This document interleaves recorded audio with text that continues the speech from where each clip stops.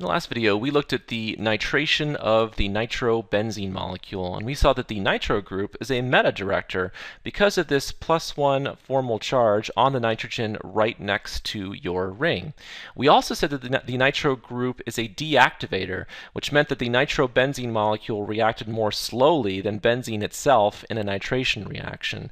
And so let's see if we can figure out why the nitro group is a deactivator in terms of both um, the inductive and a resonance effect effect. And we'll start with induction first, which we know is due to differences in electronegativity. And so we could think about this, this nitrogen here, right, compared to this carbon on the ring, the nitrogen being much more electronegative. And so it can pull electrons closer to itself. And so we can show the movement of electrons towards nitrogen. A positively charged nitrogen is extremely uh, electron withdrawing, and it can even withdraw electron density from your ring itself. That makes the ring more positive, which would destabilize the sigma complex that results in the mechanism for electrophilic aromatic substitution. Since the sigma complex is less likely to form, that would deactivate the ring towards electrophilic aromatic substitution. Also, you could think about the electron withdrawing effect of this nitro group, making the ring less nucleophilic. And so both of those factors mean that the nitro group is a deactivator towards electrophilic aromatic substitution. So induction says that the nitro group is a deactivator. Let's look at resonance next. So we could draw a resonance structure, right, where we take these pi electrons and move them in here which would push these electrons off onto your oxygen. So let's go ahead and draw that. We have our ring. We have pi electrons in our ring. Now the nitrogen is double bonded to our ring, and we have an oxygen on the right, which has a negative 1 formal charge. The nitrogen is bonded to an oxygen on the left, which now has three lone pairs of electrons and therefore has a negative 1 formal charge.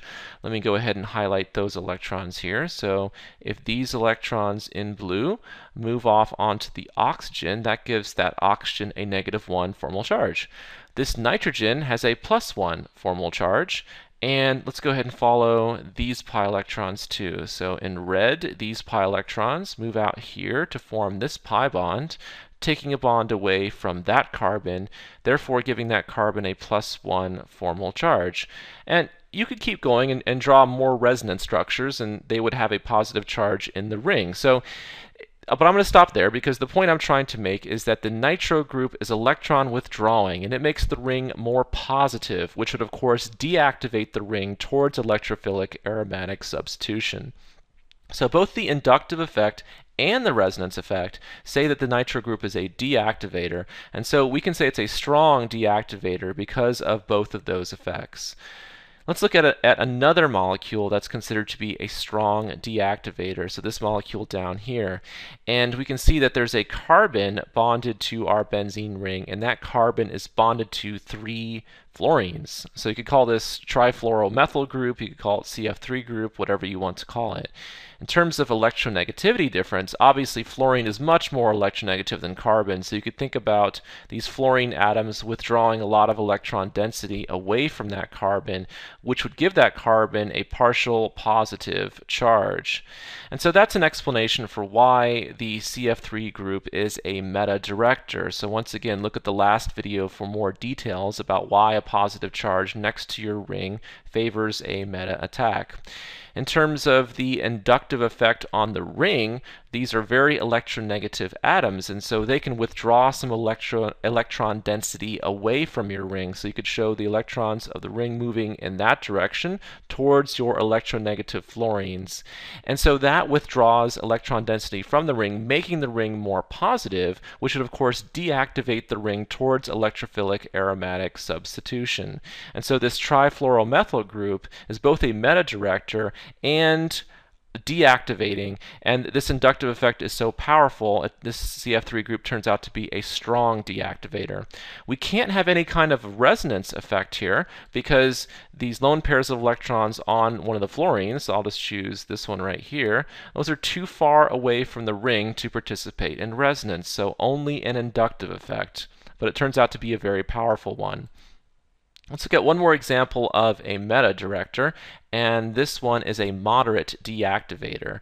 So first let's try to figure out why this is a meta director. And so if we look at the atom that is directly bonded to the ring, right, that is double bonded to an oxygen.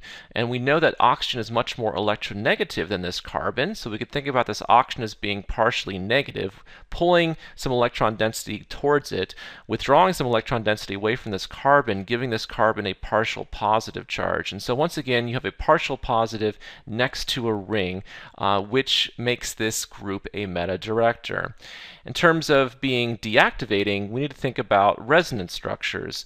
So let's, uh, let's think about moving these electrons in this pi bond off onto your oxygen. So let's go ahead and draw that one. So we have our benzene ring, and we have now our carbon, right, with only a single bond to this oxygen. This oxygen now has a negative one formal charge on it like that, and then this carbon is still bonded to this R group here. We took a bond away from that carbon, so now this carbon has a full plus one formal charge like that. So we can now show a resonance structure for this, right? We have uh, we have these pi electrons here can move out into here to form a pi bond between those two carbons. Let's go ahead and show this resonance structure. So we have our ring, these pi electrons. Now there's a double bond here, and this carbon is still bonded to this oxygen, right? So this oxygen has a negative one formal charge, and there's an R group bonded to that carbon. Let's show those pi electrons moving here. So these pi electrons, right, moved into here taking a bond away from this carbon, so we have a plus one formal charge right here. And of course, once again, you could keep going and show more resonance structures, but I'm only trying to point out that the presence of this group, right, increases the positive charge on the ring. And so the ring is more positive, which means it is deactivating towards electrophilic aromatic substitution. And so this group is both a metadirector and a deactivator. Now let's let's think about a general a general way to recognize these moderate deactivators here. So if I go back to this first drawing on the left, right, we have an atom bonded to a benzene ring, and that atom has a pi bond to an electronegative atom. In this case, it's oxygen. And so that's the pattern that you're looking for. So pi bond next to an electronegative atom will give you a moderate deactivator.